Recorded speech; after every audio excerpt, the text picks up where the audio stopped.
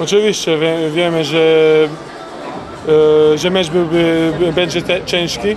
także jesteśmy wszyscy jesteśmy w, w rytmu treningów, du- dużo siłowni, dużo treningów, także jesteśmy troszkę zmęczeni, też Polska wiedziała się, że, że jest zmęczona, ale wydało się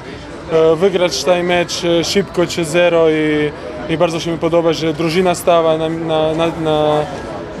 na, na boisku tak, jak muszę stać. No naprawdę, zaskoczyło mnie, że bardzo dużo kibiców przyszło na, na mecz, na pierwszy mecz, także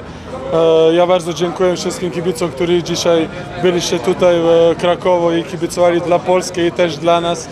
także Także no było super i su- super atmosfera i nadaje się, że będzie na następnych meczach też.